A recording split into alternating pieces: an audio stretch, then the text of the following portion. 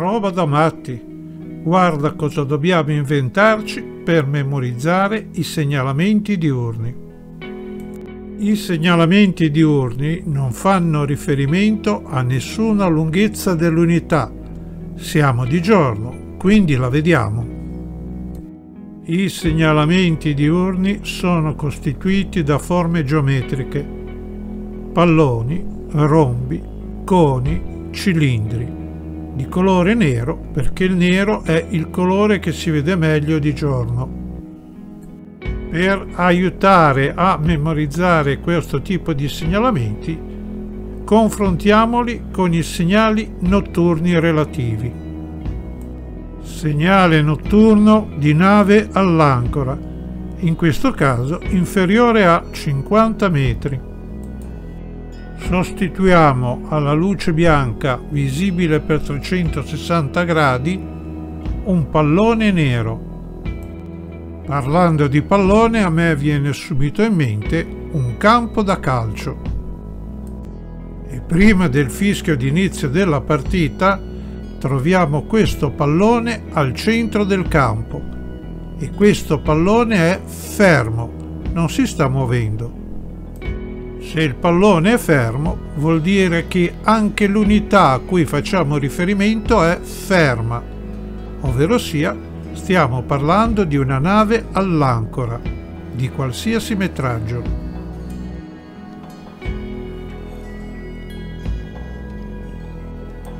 Per i segnalamenti che vedremo a seguito, al posto della luce rossa posizioniamo un pallone nero. Un non governo di notte viene rappresentato da due fanali rossi. Al posto di ogni fanale rosso mettiamo un pallone nero. Di conseguenza due fanali rossi, due palloni neri. Quindi una nave che non governa di giorno viene rappresentata con due palloni neri.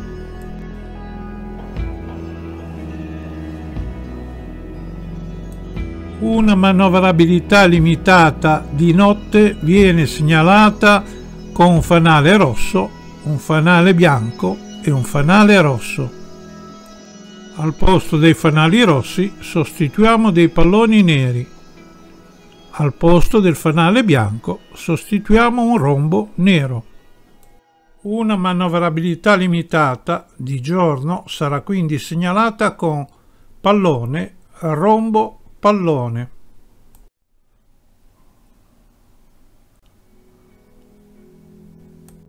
Le draghe e le navi impegnate in operazioni subacquee sono identificate di notte come manovrabilità limitata, rosso, bianco, rosso, più da due fanali rossi che indicano il lato ostruito e da due fanali verdi che indicano il lato libero.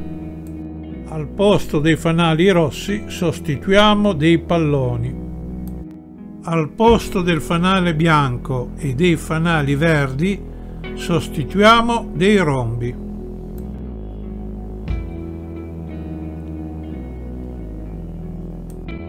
Una nave incagliata di notte è rappresentata da un fanale bianco, inteso come nave all'ancora, più due fanali rossi, intesi come non governo. Quindi segnale di nave all'ancora diurno un pallone più segnale di nave che non governa due palloni, il risultato totale fa tre palloni.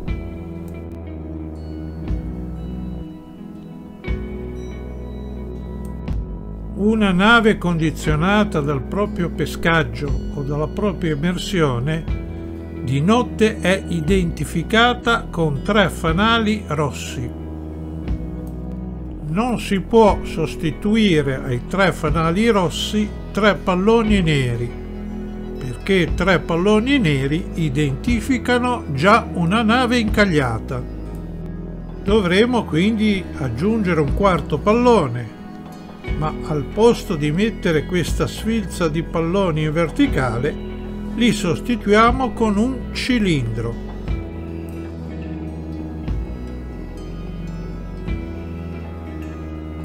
Un dragamine di notte è identificato con tre fanali verdi disposti a triangolo.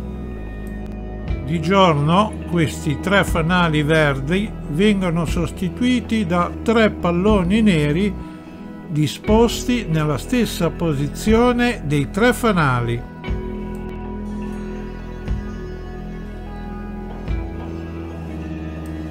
Un motopeschereccio a strascico di notte viene segnalato con un fanale verde e un fanale bianco. Ricordiamo che conosciamo due tipi di motopeschereccio, motopeschereccio a strascico, quindi con le reti a fondo, motopeschereccio non a strascico, quindi con le reti a galla. Quindi possiamo dire che rispetto a una linea di galleggiamento, un motopeschereccio generalizzato può avere le reti a fondo o avere le reti a galla. Rappresentiamo quindi per primo un motopeschereccio meno pericoloso alla navigazione, ovvero sia il peschereccio a strascico, e lo rappresentiamo con due coni con il vertice al centro.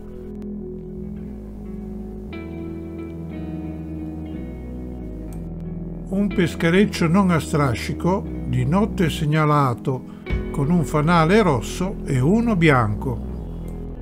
Il peschereccio non a strascico, oltre a presentare il segnalamento di peschereccio, presenta un cono con la punta rivolta verso l'alto dal lato dove è calata la rete.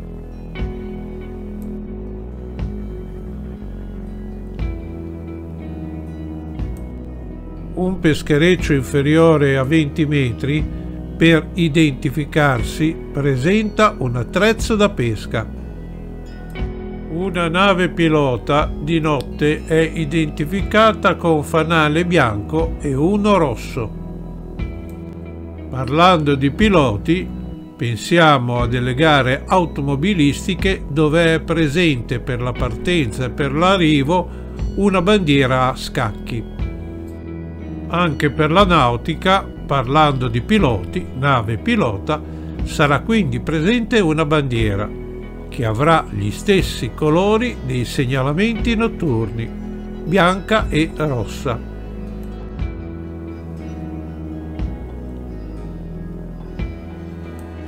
Una barca vela di notte viene identificata con dei segnali facoltativi verde e rosso visibili per 360 gradi. Se la barca vela di notte viaggia anche a motore, diventa semplicemente una nave a motore e quindi sarà identificata con una luce bianca visibile per 360 gradi. Di giorno questo fanale bianco viene sostituito da un cono con la punta rivolta verso il basso di colore nero. Questa punta rivolta verso il basso indica che sta utilizzando qualcosa posto verso il basso, ovvero sia il motore.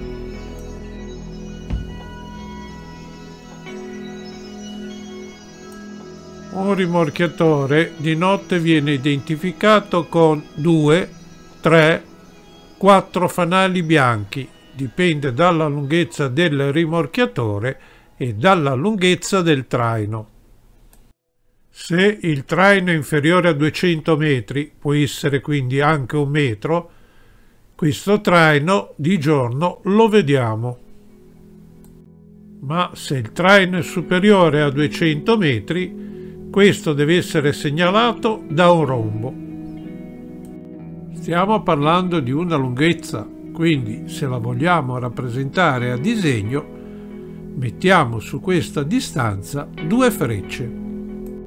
Ora, se queste due frecce le uniamo, si forma un rombo.